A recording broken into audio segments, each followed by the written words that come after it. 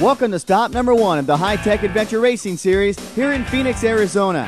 Many of the top athletes in the world have gathered here for what has become one of the toughest sports of the decade. Combining running, kayaking, and mountain biking, adventure racing demands not only physical strength, but mental alertness.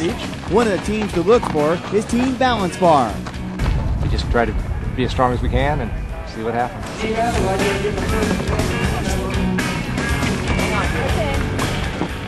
Another team to keep an eye on is Team Fog Dog. Where the mind leads, the body will follow.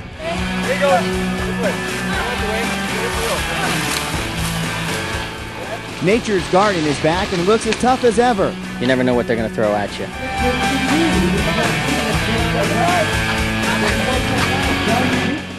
Poised and confident is Team Hi-Tec.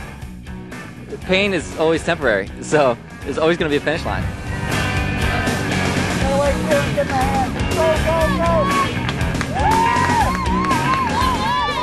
It's the dawn of a new season, and these athletes are determined to make a statement as we kick off the 1999 Hi-Tec Adventure Racing Series.